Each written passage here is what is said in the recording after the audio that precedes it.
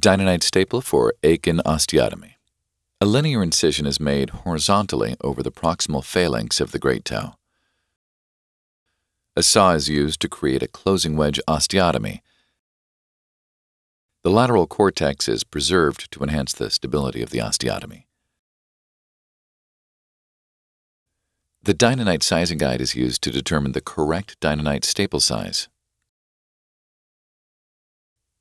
Turning the inserter handle clockwise, the Dynanite staple legs are opened from an inward position to a parallel position. The Dynanite drill guide is centered across the osteotomy site. A 1.6 mm Dynanite drill bit is used to drill the first hole in the proximal portion of the osteotomy site. The drill bit is laser marked to help drill to the correct depth. If desired, a Dynanite alignment pin is inserted through the drill guide into the first drilled hole. A second hole is drilled on the distal portion of the fusion site. If desired, a second alignment pin may be used. The alignment pins are removed from the drilled holes. The drill guide is held against the cortical surface in order to maintain the location of the drill holes. Using the windows on the drill guide, the staple legs are inserted into the drilled holes. The drill guide is then removed.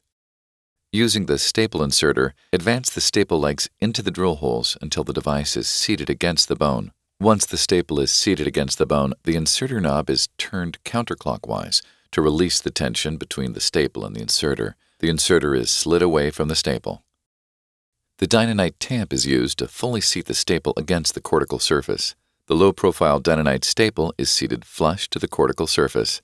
The incision is closed and a compressive dressing is applied.